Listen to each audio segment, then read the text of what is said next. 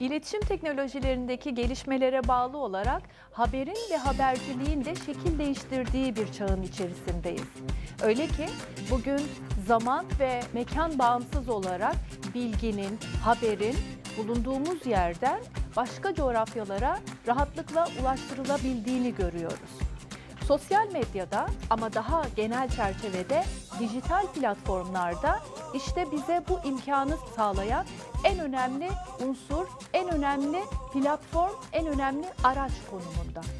Bizler öğrencilerimizi bu değişen ve gelişen, farklılaşan teknoloji temelli ortamlara alıştırmak ve bunların sadece teorik bilgilerle verilmediği, onun yanı sıra uygulama imkanlarının da tanındığı bir ortam vaat ediyoruz ve bunu da yaratıyoruz.